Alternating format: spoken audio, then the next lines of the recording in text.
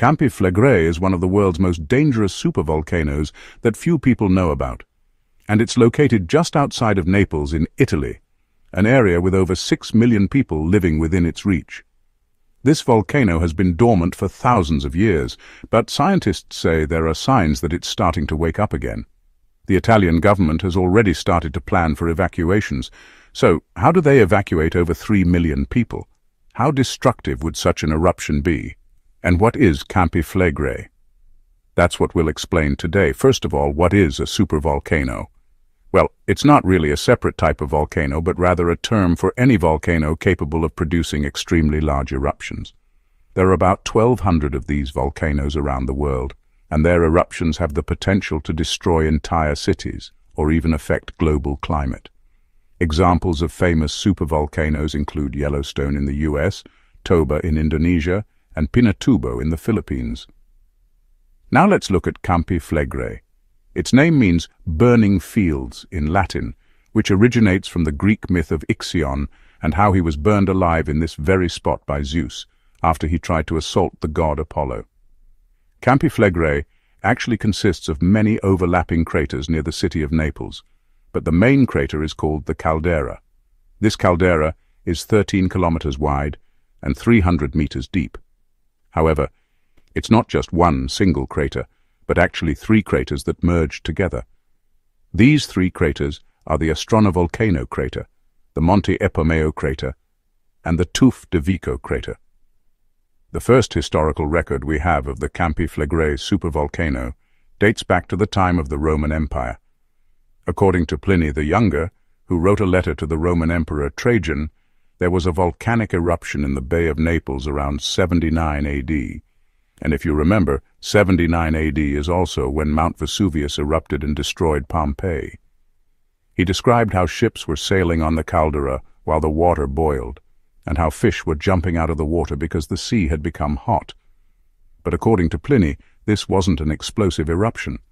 Instead, the sea level rose 20 meters and then collapsed again a few hours later. We know now that Campi Flegrei had a major eruption before 79 AD because geologists found a layer of ash 20 centimeters thick in the soil of Herculaneum, which is a town near Pompeii. We also know that the eruption didn't happen at the same time as the eruption of Mount Vesuvius, because the pumice deposits show that the eruption happened about 2,000 years before the destruction of Pompeii. This is confirmed by radiocarbon dating. It's still debated whether or not there was one big eruption or many smaller ones. In 1980, an Italian geologist named Mario Tozzi claimed that the pre-79 AD eruption actually consisted of seven smaller eruptions. But there is no consensus on this among other scientists. Another question that is still debated is how high the eruption column reached. This is the cloud of gas and debris ejected during an eruption. For the Campi Flegrei, the estimated height varies between 30 and 50 kilometers. To put the size of the Campi Flegrei supervolcano into perspective, we can compare it to the much better known Vesuvius. Vesuvius is 40 kilometers away from the Campi Flegrei caldera. While both are active volcanoes, Vesuvius is considered a stratovolcano, which is formed by layers of lava and ash and has steep slopes. On the other hand, the Campi Flegrei caldera has almost flat terrain and is 20 times larger than Vesuvius. It's sometimes said that the area around the Bay of Naples is sitting on a volcano, but that's not entirely true. The area is actually sitting on a caldera, which is the crater left behind after a large explosion. The Campi Flegrei supervolcano is considered potentially active because it still poses a threat to people living nearby. The last eruption happened around 3,900 years ago, and scientists are now worried because there are signs that it might erupt again. Scientists monitor the level of the groundwater below the surface of the caldera. When the water level drops, it means magma is being withdrawn from the reservoir, and recently the water level dropped unexpectedly. There are several ways this supervolcano could erupt. It could erupt explosively, emitting huge amounts of ash and gases, or effusively with lava flows, or it could erupt phreatomagmatically, meaning with steam explosions. The latter happens when magma comes into contact with seawater. This type of eruption is particularly dangerous because the magma is rapidly turned into steam, which can cause violent explosions. The energy released can be up to 10 times greater than a normal volcanic eruption. Also, this type of eruption can start suddenly without any warning. When the Campi Flegrei erupts, the effects will depend on the type of eruption. A phreatic eruption would send steam and volcanic debris across the Bay of Naples. An explosive eruption would cover southern Italy in ash and lava. An effusive eruption would probably take place under the sea and may not have many immediate effects. But the lava would eventually solidify and could create new islands. Let's focus on the most dangerous scenario, a phreatomagmatic eruption. Studies published in 2021 estimate that if Campi Flegrei were to erupt today, it could be even more destructive than the 1815 eruption of Mount Tambora in Indonesia, which is considered the deadliest eruption in recorded human history. Over 100,000 people lost their lives. The Campi Flegrei supervolcano lies only 10 kilometers from the city center of Naples, and although the epicenter of the eruption would probably be in the sea, Naples and the entire Bay of Naples would need to be evacuated. The pyroclastic flows would race down the slopes, reaching the densely populated coastal areas within minutes. In fact, a simulation study published in 2020 suggests that the eruption would generate deadly pyroclastic flows that would travel 15 kilometers from the epicenter at speeds of up to 190 kilometers per hour. These flows would reach the northeastern outskirts of Naples within 12 minutes and the city center within 25 minutes. The high population density in this region means that many people would be affected.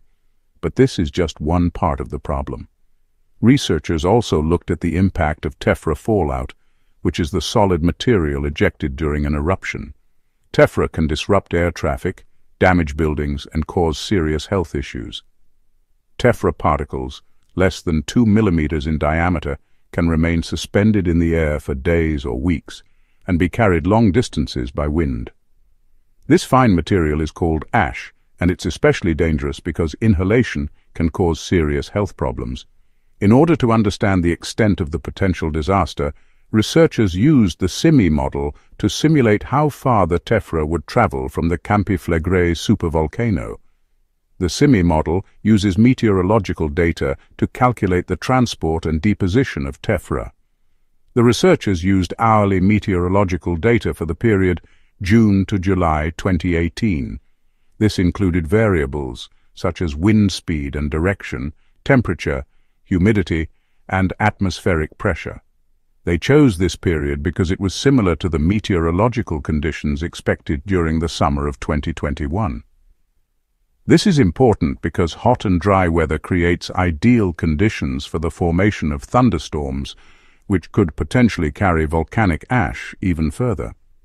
The simulation showed that if the Campi Flegrei supervolcano erupted in July 2021, ash would have covered not only Italy, but also parts of France, Spain, Switzerland, Germany, Austria and Croatia.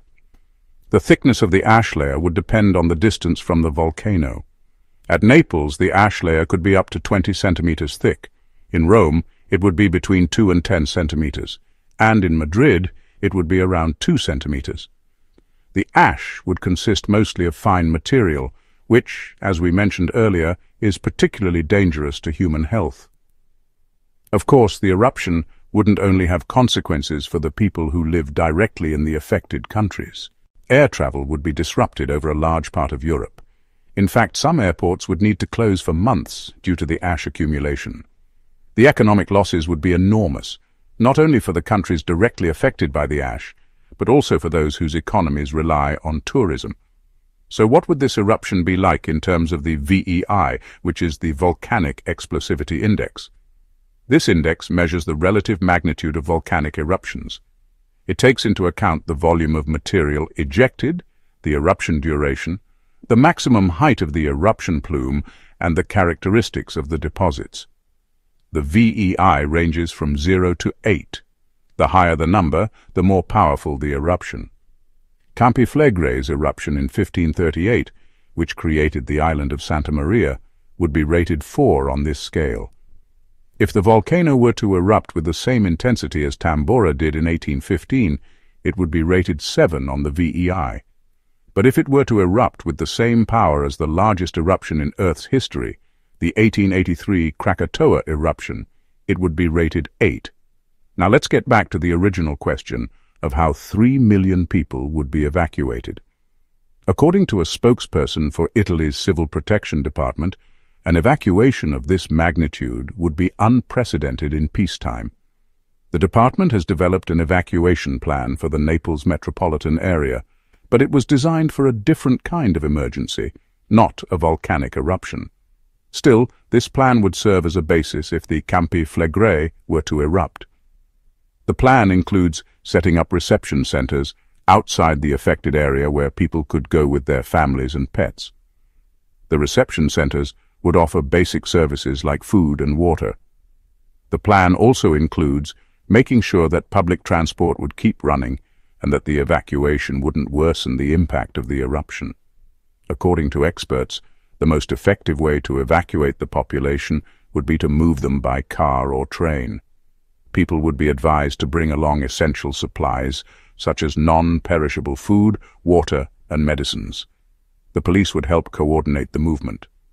But despite the plan, it's clear that an eruption would throw Italy into chaos. And so far there's no official risk map showing the exact areas that would need to be evacuated in case of an eruption. So this was Campi Flegrei, the sleeping giant of Europe. Do you think the chances of it erupting are high? Let us know your thoughts in the comments. As always, thanks for watching. If you like this video, make sure to subscribe and check out our other videos.